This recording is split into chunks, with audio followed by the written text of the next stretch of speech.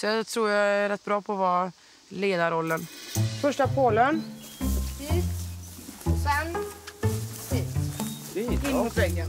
Till vardags i det verkliga livet så är jag van vid att vara den som styr och ställer. Jag har oftast chefposition. Så det är påle, påle, påle, påle och så sen påle där då. Men det är ju inte så att jag njuter av det. Det är mer bara att det faller mig naturligt. Är det några frågor kring detta? Nej.